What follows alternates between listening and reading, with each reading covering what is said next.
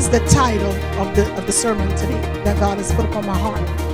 When God molds the message within the message.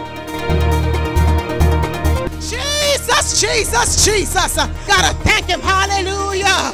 No rush, no rush. Just just praise him. Love on the people of God. Stay a little longer. Rock them a little. It's all good.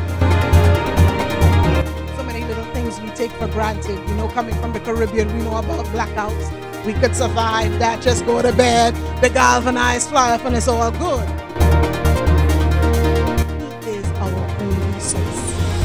Amen. Or the children, the parents whose children ran away and the presence of their child is not in their hometown and they would give anything for that opportunity.